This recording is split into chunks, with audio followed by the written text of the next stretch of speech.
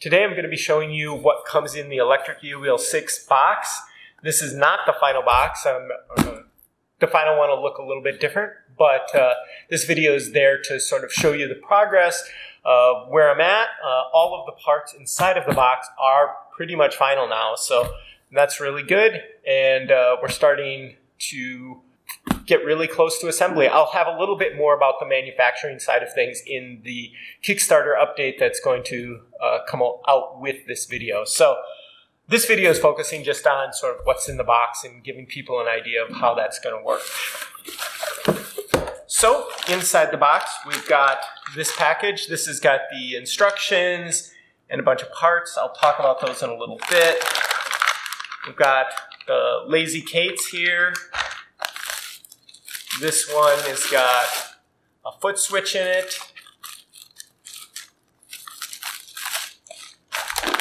Then we've got two packages of bobbins. So each package of bobbins has three bobbins in it, uh, one of each color. And uh, I'll go through all of these parts in a little bit more detail in a bit. Uh, this is the flyer. Here's the main base of the uh, electric eel wheel 6. It's all assembled. This is how it'll be coming. And the last two parts in the box are just the power supply and then a cord for the power supply. Um, this is separate because I have a few different versions of the cord depending on which country is being shipped to. So that's pretty much it. Let's sort of go into a little bit more detail on some of the different packages. So uh, this is the instructions and parts for it. So let's just see what's included in this one. So we've got an orifice reducer here. That just will plug into the flyer like that. We've got the instruction booklet. Um, I'm really happy with how this turned out.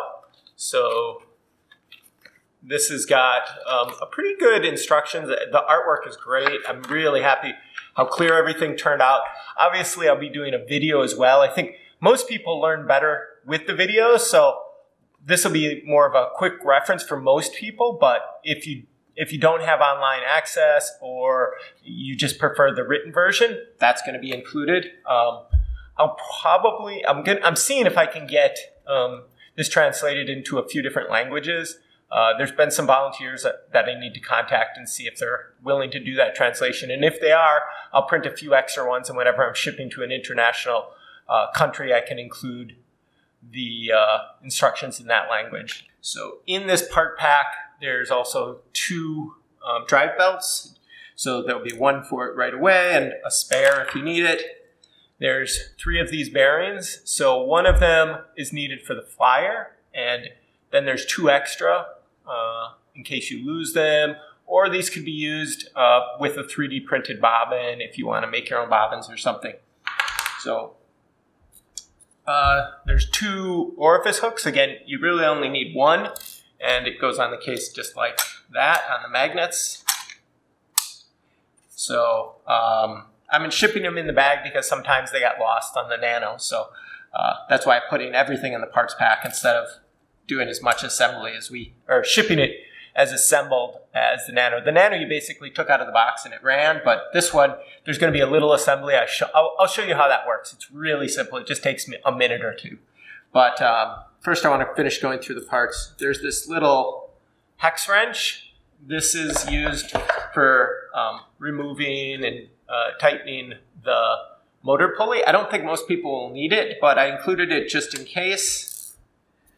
Uh, we've got a bunch of these O-rings. These are what hold these sliding hooks in place. So um, if those wear out, you'll have a bunch of extras. There's an extra spring.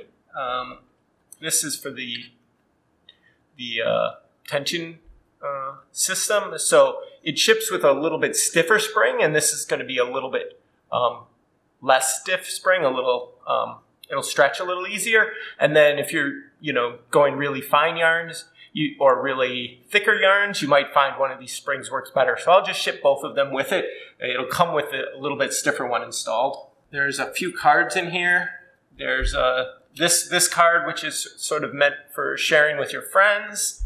And then this is a spin card, I call it. And it's kind of got a way of measuring the gauge of your yarn and also the twist angle. I've talked about that in the past for um, previous versions of the electric eel wheel. People really love this card, so I'm going to include it again.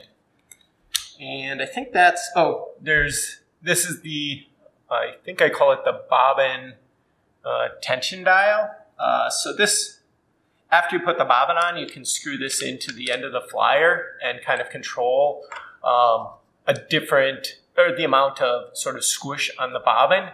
I don't, all my beta testers say they don't really use this. Uh, it actually can cause some problems if you set it up wrong. I'll probably talk about it in a separate video, but right now, for most people, I, I don't recommend using this. Uh, at least don't start with it. I think that's it for the parts bag.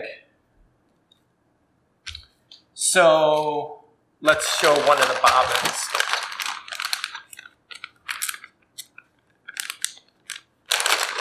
So in a bobbin bag, there'll be one bobbin of each color.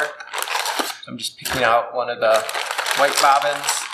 And there's also six bearings in there. So I'll just take two of the bearings and I just put the bearings in the end of the discs like this. You just screw them together like this.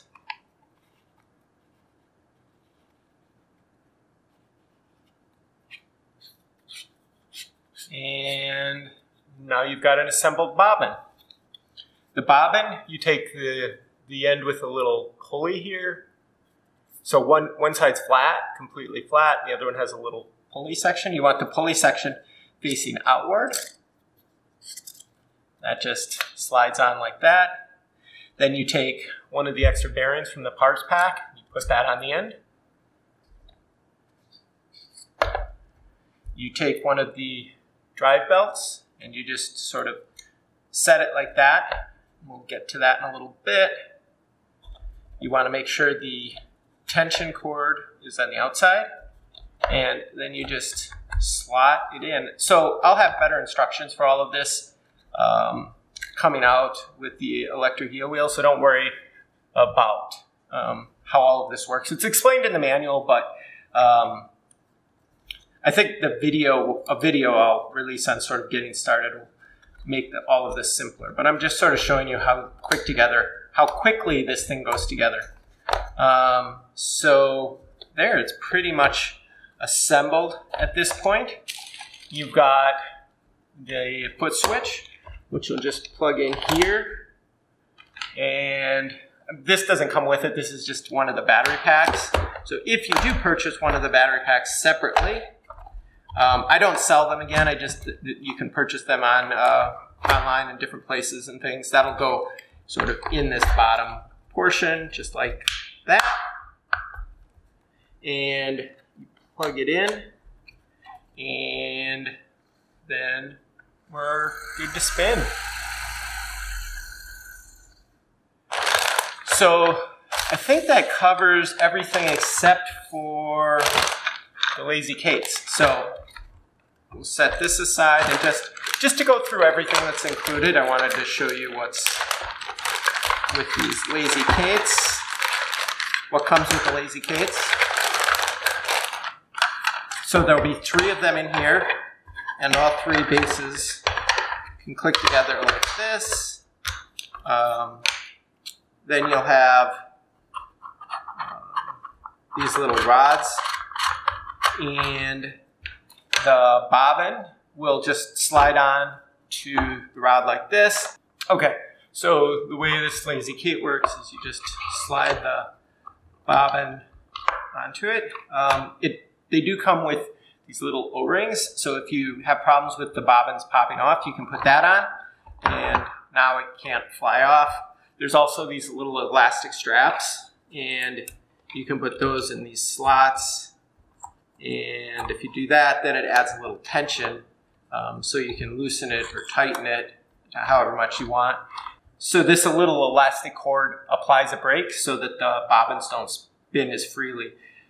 I realized I forgot to mention the yarn spike in the video, so basically what that is, is that's this piece. So this you would shove a ball of yarn onto yarn spike, and then you can put the yarn spike on here, and it holds it in place while you're knitting from the ball of yarn. It's actually a pretty nice feature. A lot of my beta testers loved it, so I'm including these yarn spikes with every one of my Lazy Kates. That's pretty much it. If people have any questions, let me know. But um, like I said, this is just a quick video to sort of show you what's included. I'll be doing a much better video about getting started with your electric eel wheel 6 later when we're closer to shipping them. Thanks for watching.